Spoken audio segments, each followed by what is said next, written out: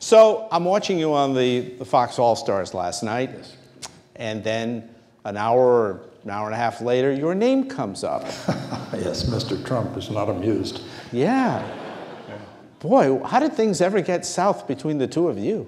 Well, uh, the, uh, it's hard to say how he got into politics. I mean, some people say he's not a conservative. Of course, he's not a conservative. He's not a liberal either. He's not a Republican. He's not a Democrat. He's been everything at some point or other. Uh, his uh, principles are, uh, shall we say, malleable. Uh, there's an old joke in politics a politician gets up and takes a forthright stand on every uh, burning issue of the day, and at the end of which he says, Those are my positions, and if you don't like them, I'll change them.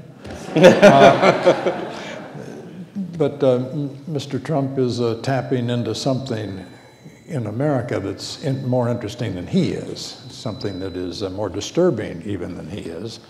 And uh, we don't, I don't think any of us quite fathom what it is yet, but it, to me it is uh, deeply dismaying. I think it was Sunday you made this statement in talking about who gets tough with Donald Trump, that Bobby Jindal, the governor of Louisiana, was the only one who, in your words, had the kidney to actually take it to Trump. He did in a speech at the National Press Club, in which he said this is an exercise in narcissism, vanity, egotism. It's all true.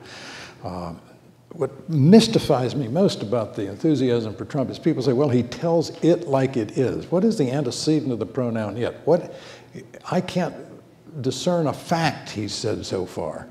Uh, it's always, uh, I'm smart and rich, all our leaders are stupid, all our problems are simple, and make me president, and good management will take care of everything. Uh, the Mexicans will build a wall for us, the Chinese will surrender. I mean, it's just, uh, I don't. I, I, can't think of a particular program he's, he has outlined because he is the program. It's, it's, uh, I, it, it's all about me. I mean, when, when he talks, uh, I like Kanye West because Kanye West likes me. It's always that.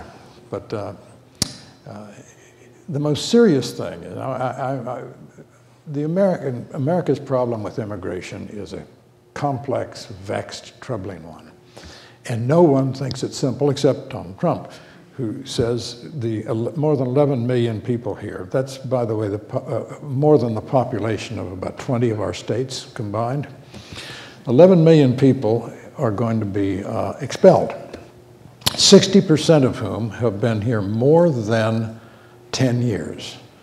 There are 4 million children who are American citizens, these people. These are people who are in our communities. They uh, uh work with us. They sit next to us in church. They, have been here a long time. I'm Going to send them back to their homes. I have news that this is our home, their home. I mean, uh, I, I, regret that they're here illegally, but let's face facts. And, and because when you uh, make as a now discussable program what deserves to be called ethnic cleansing in this country, it seems to me you are taking our politics into difficult, dangerous territory. Uh, I'm more of the Jeb Bush style on, on immigration. Uh, I think we need the immigrants to replenish the workforce so that we'll have enough workers as the baby boomers retire to sustain our welfare state, Social Security, and all the rest.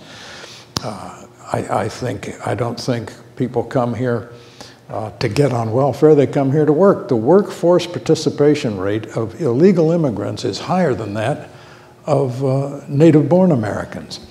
Jeb Bush got in a lot of trouble for saying people come here as an act of love. That's exactly what it is in most cases. You look at those faces and, and those horrifying pictures of the waves of migrants, uh, fathers and mothers with their small children from Syria and Libya and elsewhere. Uh, they're not trying to get into Hungary uh, to get on welfare. They're, it, they're doing it because they love their children and they want a better life. Let's talk about the refugees, because the president has said we want to take in 10,000, I think he said. Then Peter King, Congressman King, comes out and says, well, if we do this, we're going to have to make them go through all these hoops before they can come in. That'll take two years and who knows how much money. Two years to vet an eight year old? I mean, what are we talking about? we do, let me do, give a little rant about how we don't get anything done quickly in this country. We built the Empire State Building in 410 days during the Depression. We built, that's the world's tallest office building at the time. We built the Pentagon, world's largest office building, in 16 months during the Second World War. We built the George Washington Bridge, very complicated engineering achievement, in 35 months. You know how uh, long it took to build the West Side Highway on Manhattan? 35 years. the port of Charleston, I have a home in Kiawah Island, South Carolina. The port of Charleston is 42 feet deep. They can't take the big new ships coming through the widened Panama Canal. It needs to be dredged to 52 feet. That's moving mud, for Pete's sake. It's not a technological miracle. They say they can do it in 10 years. Why? Well, because they might find a snail darter or something in there. I mean, because you have to go through so many hoops and so many regulatory bodies that nothing gets done in America. That's my digression from. I, uh, we, had on, we had on Fox the other night, uh, we had Ron Johnson, Republican from Wisconsin, and he said, well, it takes two years to vet each individual. Why? Yeah. You do not, does not take two years to vet an eight-year-old in flight from Assad's barrel bombs in Damascus. Just doesn't. People say, well, we can't handle that. As this state knows better than any, we took a million Cubans. We took 125,000 Cubans in 1980 alone. It wasn't nice, it wasn't easy, but it was also not a crisis for this great, large, productive, welcoming, decent country. After Saigon fell in 1975, we took a million Vietnamese in the next 20 years. Took 125,000, same number, in the first year. And you know, about 15 years later, in the state of California, there were a whole lot of high school valedictorians named Nguyen. because the immigrants got here and they did as immigrants often do. They worked harder than the rest of us because they knew what they'd come from and they knew how good it was to be here and they knew the blessings of liberty. And they worked harder, and they were valedictorians, and they're now all over our society. And, you know, the other day, Mr. Trump, I hate to keep coming back to him. Trump criticized Jeb Bush because Jeb Bush was campaigning and someone asked him a question in Spanish and Jeb Bush answered in Spanish. And Trump said that's a bad example. I wrote a column pointing out Abraham Lincoln took German lessons because he wanted to be able to speak to the German speakers in central Illinois, where, by the way, he bought a German language newspaper to be able to communicate better with potential constituents. This is the American story. The largest single cohort in the American population are descended from Germans. I'm one of them. Uh, Georg Friedrich Will. Uh, father, my grandfather was a Lutheran minister. And so my uh, grandmother prayed in German at the, at the dinner table. Um, this is perfectly normal. Now, the, the First Continental Congress considered, and I think Benjamin Franklin's urging, that they print the laws in English as well as German. People said, no, the Germans will figure this out. And of course they did. And who thinks, uh, raise your hand if you think we have a problem in the United States with unassimilated Germans. We're good at this. So the question that came up a couple of days ago why aren't the countries around Syria, beside Turkey, where they've already overrun Turkey. Why aren't they taking these refugees in instead of them all going by boat, going by land to Europe, and then we're being asked to take them? Let them take them first. Because a lot of those countries are ghastly countries with ghastly governments and riven by uh, the Sunni Shia bigotries. They're not used to this. Uh, the, the, what the world is suffering from now is the fact that Islamic civilization, you're not allowed to say this, but I am, Islamic civilization is a failure. They've never had a reformation. They've never had uh, a, a constructive encounter with modernity, open societies. Just take one example. Nations that are run by men who are terrified of women are dangerous nations.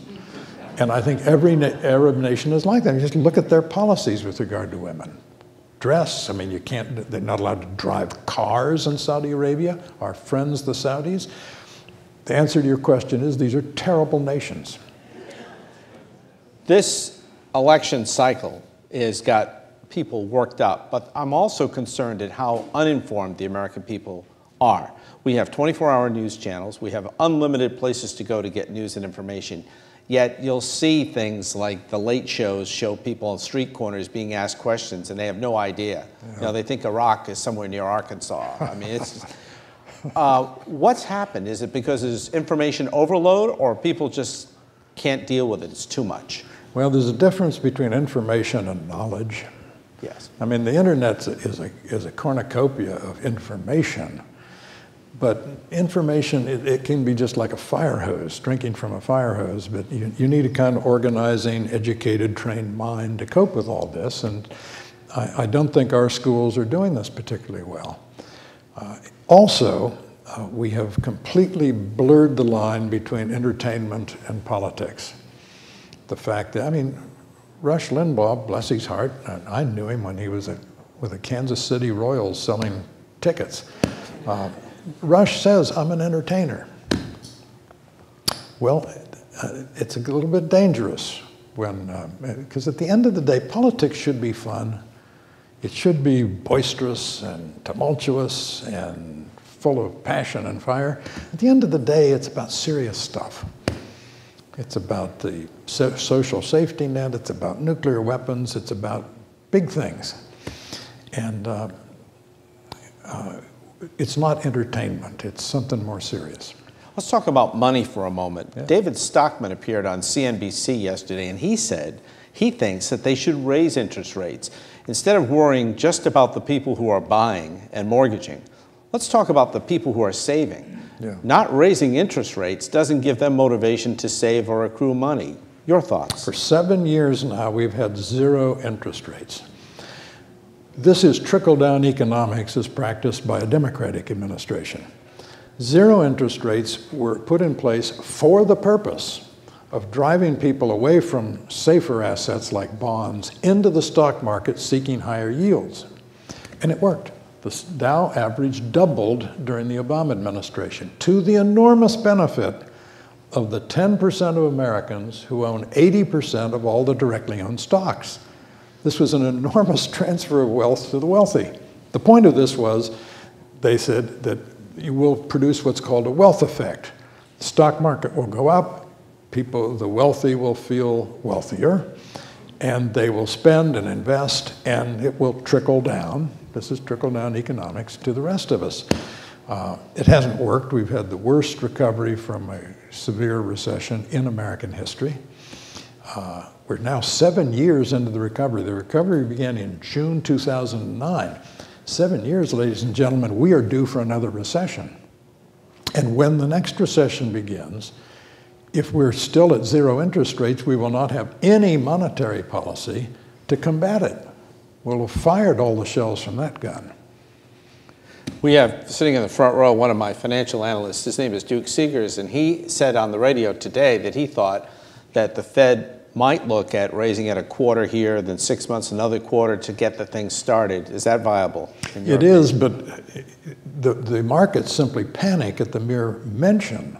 Uh, uh, we've seen the markets go down when unemployment goes down because they say unemployment going down will convince the Fed that the economy is all right, therefore it can raise rates. So they're more afraid of increased rates than they are of increased unemployment. So at this, at this point, it seems to me, uh, it's hard to get off that tiger you've been riding.